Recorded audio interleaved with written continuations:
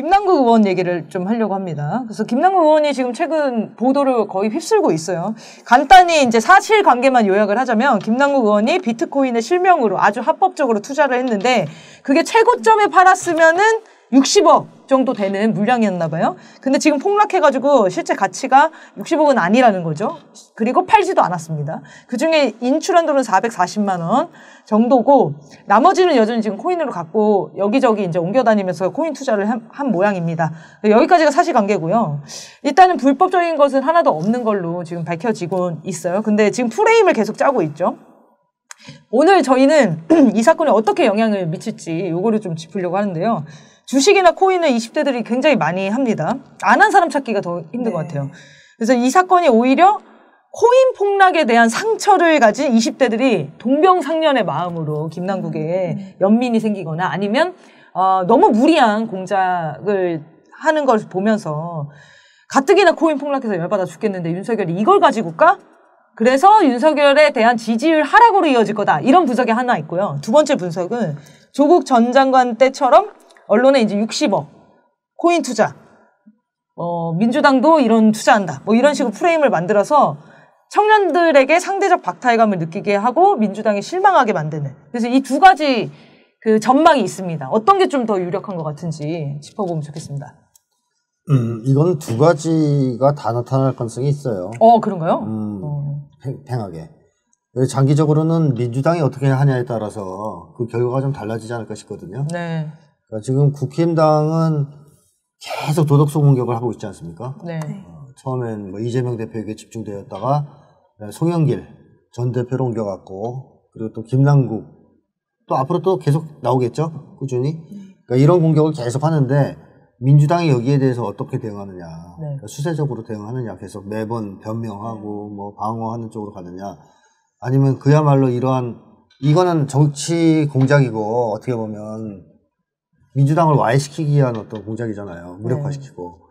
그러니까 위기감을 느끼고 정말 정면 대결 음. 쪽으로 나아가느냐. 음. 여기에 따라서 여론의 향방이 바뀔 가능성이 있다. 어떤 식으로 대응하는 게 맞다고 보세요? 싸워야죠. 어. 왜냐하면 정치 탄압이다. 네. 걸로. 음. 네. 이 윤석열 집단이 우리가 볼 때는 진짜 머저리들 있잖아요. 음. 네. 우리들이 볼 때. 그리고 뭐 글로벌 호구니 뭐 이런 얘기도 듣잖아요. 음. 근데 잘하는 게 있어요, 얘들도. 뭘 잘하냐면 칼질은 정말 잘해요. 음. 백정짓. 음. 검사 때부터 그걸로 여태까지 음. 승승장구해온 집단이거든요. 그걸로 먹고 살아온 집단이라 해도 과언이 아니에요. 그러니까 그것만큼은 굉장히 잘합니다.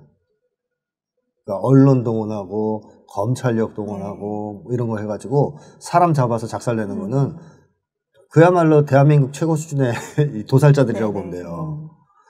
그러니까 얘들이 과연 멈출 것이냐 이것을 음. 한두 명 잡아놓고 저는 그렇게 생각하지 않습니다. 계속하겠죠. 완전히 끝을 볼 때까지 어, 자기들이 이 한국을 제패할 때까지 완전히 천하통일할 때까지 끝을 가리지 않고 할 거거든요. 그러면 이거를 수세적으로 하나하나 대응하면서 방어만 하다가는 다 죽죠. 네. 그래서 싸워야 될 때가 됐다라고 생각을 하고 사실 이 국힘당 놈들은 나쁜 짓을 해서 돈을 많이 벌어도 뻔뻔한 놈들이잖아요. 네. 네. 근데 민주당 사람들은 합법적으로 돈을 벌어도 죄인이 되는 네. 상황이거든요. 네. 어, 합법적으로 돈 버는 거는 저는 앞으로는 숨기거나 부끄러워할 이유가 없다고 생각해요. 지금 한국 사회에서 그게 죄는 아니라고 생각합니다. 네. 모두가 뭐 생존 불안, 존중 불안을 겪고 있는 사회에서 뭐 돈 어떻게든 벌어보려고 불안하니까 다들 거기 집착하는데 거기서 민주당 사람들만 예외겠습니까? 그러니까요. 음, 음. 다 똑같죠. 그러니까 이렇게 된 것은 사회 문제일 뿐이지 누구 개개인을 욕할 수는 없다. 그런데 국힘당은 마치 민주당은 돈을 벌면 안 되는 것처럼 얘기를 한단 말이에요. 지네들만 벌겠다는 지네는 되고. 지네는 되고. 지네는 게다 불법으로 벌고. 불법으로 보는데. 네, 이런 것에 계속 당하면 안 된다고 생각해서 저는 앞으로 민주당 쪽 사람들도 돈 합법적으로 버는 거에 대해서는 벌고 있다고 얘기해라고 권하고 싶어요. 아니 특별히 숨긴 것 같지도 않아요. 어. 뭐 근데 특별히 말할 이유가 없으니까 그냥 안 말했던 아. 거겠죠. 안 되게 막 지나가면서라도 음. 나는 뭐 돈 이거 하고 있다. 음. 코인 투자가 취미다. 음. 뭐 이런 얘기를 할 수 있고 나 주식 투자 많이 하고 있다. 음. 어, 재테크로 음. 안전보장처 이런 얘기를 꺼리낌 없이 해도 된다는 거죠. 네. 뭐 합법적으로 하는데 뭐가 문제가 되겠습니까? 그렇죠. 그런 점에서 본다면 여기에 대해서 이거는 어쨌든 걸고 들어가기가 조금 애매한 문제이긴 하죠. 불법이 들어간 건 아니지 않습니까? 네. 음, 그렇지만 끊임없이 어쨌든 도덕성을 흠집내기 위해서 뭐라도 할 텐데 여기에 민주당이 사안별로 대응하지 않고 이거는 우리 당을 깨기 위한 지금 전면적인 공격이다. 어, 이제 이거를 만약에 막아내지 못하면 계속 이런 게 밀려 들어와서 우리는 무너질 것이다. 이런 어떤 위기 의식을 가지고 전면적인 싸움에 나서야 될 때가 왔다 이렇게 생각합니다. 이거 이게 어, 이 김남국 의원이 밀리면 민주당에 코인 투자한 사람 김남국 의원뿐이겠어요? 엄청 많을 거 아닙니까?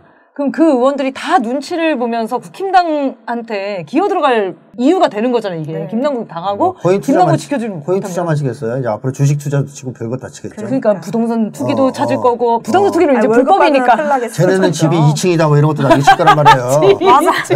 네, 나중에 차가 어, 어떻다는 등. 차가 차가 봤다는 봤다는 등. 별게 다 나올 걸요. 그러니까 이게 끝이 없는 도덕성 공격인데. 맞아요. 아, 근데 이제 이 20대들이 아까 반반이라고 얘기하셨는데 그나마 네. 그래 어디에 더 좀 그 무게가 갈 것 같은지 반민주당 정서로 갈 것 같은지 아니면 반윤석열. 20대들 중에서 특히 남성들은 이미 반민주당 정서가 강하거든요. 네네. 특별히 더 나빠질 것도 없어요. 그러네. 안심 안심인가요? 아니 그러네요. 뭐 어차피 그 20대 남성들 민주당을 싫어하는 친구들은 국힘당이나 민주당이나 똑같다고 보기 때문에 싫어하는 거예요. 음, 그렇죠, 그렇죠. 근데 거기서 똑같은 당에서 음. 비트코인 했다. 그런다고 해서 특별히 더 싫어하겠습니까? 오히려 어 비트코인 했어 졌네 이런 정도의 생각을 가질 수도 있겠죠. 음. 아, 그럼 오히려 동병상련 이쪽으로 좀 느낌 가능성도 있다. 뭐 동명상련까지는 안 가더라도 오히려 젊은 층한테는 더 뭐랄까요 익숙한 거죠. 그게 왜 문제인데? 뭐 어 왜냐하면 자기들도 주식이나 코인 같은 거 네. 많이 하니까. 네네. 네. 그래서 프레임을 이렇게 짜더라고요. 그 코인 보유세, 음. 어, 요 세금 법안을 김남국 의원이 동의해서 통과시키려고 했다. 이게 이해 충돌이다. 그러니까 자기 자기가 코인 보유하고 있으니까 그 세금 감면하는 거, 음. 뭐 그거를 이제 통, 통과시킨 거다라고 또 프레임 공격을 하더라고요. 네. 어, 그러면서 이제 김남국 의원의 주장은 그럼 부동산 가진 사람들이 부동산법을 통과시키를 못하는 거냐. 전체 다수, 절대 다수들한테 그 해당되는 네. 법안은 이해 충돌을 볼 수 없다. 뭐 이렇게 주장을 하는데 이해는 됐어요. 이해는 됐는데 여론 공작을 어떻게 하는지에 따라서 영향이 크기 때문에 이것도 먹힐 가능성이 있겠다. 이런 생각이 들더라고요. 그러니까 여론 공작은 지금 얘들이 너무너무 잘하잖아요. 음. 어, 그리고 그게 먹혀왔고. 네. 그러니까 앞으로도 계속 할 거라고 예상하고 대응을 해야 됩니다. 네. 정면 대결해야 된다. 네. 이거는 정치 탄압이고. 근데 지금 김남국 의원도 그렇고 예전 이재명 대표도 그렇고 그걸 세세하게 계속 해명하는 방식. 네. 끊임없이 그 반복 해설하는 네. 방식이. 오히려 국민들을 좀 피곤하게 하잖아요. 그렇죠. 어차피 그 꼬투리는 계속 잡히는 건데. 음, 음. 그래서 지금 김남국 의원이 말을 할 때마다 다 꼬투리가 잡혀서 다시 제 프레임화 될수 있거든요. 네, 그런 게 좀 걱정되긴 하더라고요. 네, 김남국 의원님, 네, 정면 돌파. 그리고 민주당 의원들이 이거를 같이 일심 단결해서 돕지 네. 않으면 식구 어디 갔어요? 결국 이제 그 칼은 또 돌고 돌아서 다 다른 그렇죠. 사람들한테 간다는 겁니다.